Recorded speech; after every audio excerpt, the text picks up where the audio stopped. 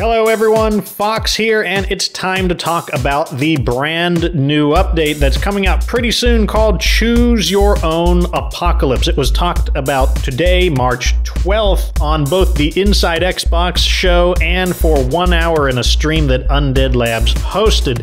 What I'm going to do is paraphrase what they talked about, and then I'm going to give some maybe a little bit of theory crafted ideas, maybe some preliminary strategies based on what I've heard. This is probably also where I should say that whenever there's news, it first gets posted on my social media. You can follow me at GitGudFox, both on Facebook and on Twitter. I always post the updates there before I take the time to make a video. Anyways, in the background, we have the developers playing on the brand new difficulty in glorious 360p. That was the best I could do for the video rip, so whatever. Anyways, let's get started. The update is going to be coming out on March 26th, so you've got some time to prepare. It's adding two new difficulty modes, the first of which is called the Dread Zone, and the second of which is called the Nightmare Zone. The Dread Zone is a slightly higher difficulty where everything is a little bit harsher, while the Nightmare Zone is supposed to be really hard, where they're going to add quite a few new features that neither the Dread Zone nor the normal game mode contains.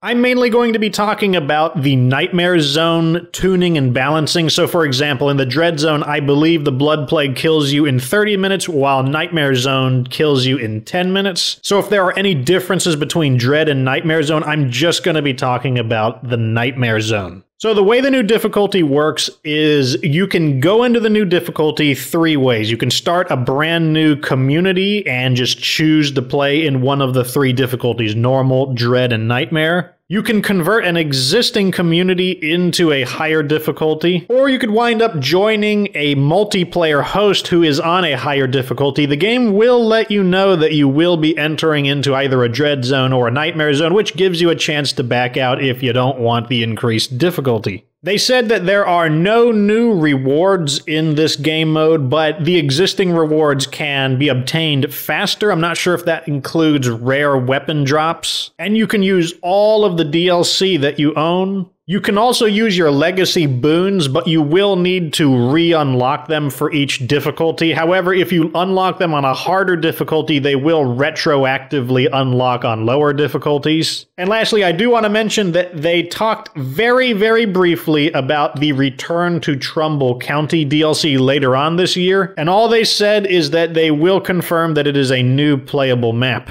I guess they also more or less said that it's not super far in development, as in they really have absolutely nothing to show about it. Anyways, let's talk about some of the specific features you can expect in this new increased difficulty. Remember, I'm mainly talking about the Nightmare, which is the highest difficulty, the Nightmare Zone. So when you get fully infected with Blood Plague, you can expect to die in 10 minutes. The hordes are bigger, and you can expect to see armored zombie hordes, packs of feral zombies, groups of bloaters called bloater pods, groups of screamers called screamer choirs, and juggernaut groups. There are no regular juggernauts anymore. All juggernauts are plague juggernauts. Plague hearts are harder, they've got more health, they call for more zombies, but they make it seem like you're going to get a lot more loot from them. And they sort of alluded that maybe you get more than just blood plague samples, but they didn't confirm that for certain. Survivors eat 1.5 food per day, up from the typical 1 per day on this new difficulty, so it'll stress your food supply more. You cannot see zombies on your radar anymore without some kind of dedicated effect that detects zombies, such as having the scouting skill. Hostile humans can now headshot you.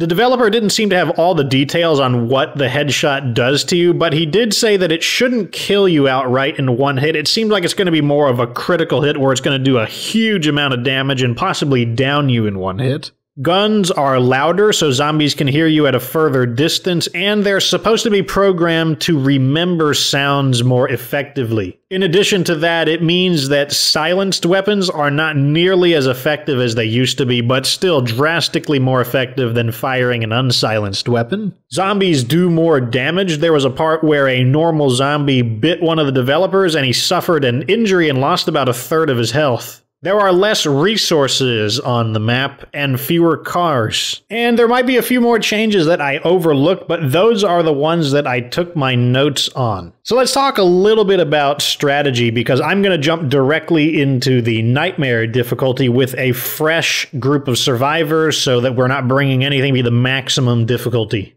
Immediately, I'm thinking that agriculture is going to be really valuable as people are going to eat a ton of food, and I think even having the large level 3 farm is going to be worth it. Plague juggernauts cause a lot of infection, so you're probably going to want to carry a plague cure just as standard gear on all of your characters now. The pharmacology skill, which is an upgraded form of chemistry, is probably going to be really useful because it allows you to produce a lot of medicine cheaper, including plague cures. The heavy ammo press and a 50 caliber sniper rifle is going to be a really big deal. That's just the most efficient way to deal with juggernauts, especially large quantities of them. I think the trader leader is going to be the best leader because while you're going to be fighting a large quantity of zombies, it means you're going to be gaining a ton of influence and having that trader leader lets you spend influence the most efficiently. And lastly, I think the little miscellaneous disposable items like distractions and flash flashbangs and smoke grenades are going to become a lot more important. Distractions are valuable because obviously they distract the normal zombies, and flashbangs are useful because they do stun the advanced zombies. Advanced zombies, they are not affected by distractions, so you can't use it to distract a feral or a juggernaut. So having smoke grenades or flashbangs, they might become your new best friend in this increased difficulty. But hey, that is that. The patch notes are not out yet. They're supposed to launch on the same day that the update does, so on the 26th of this March.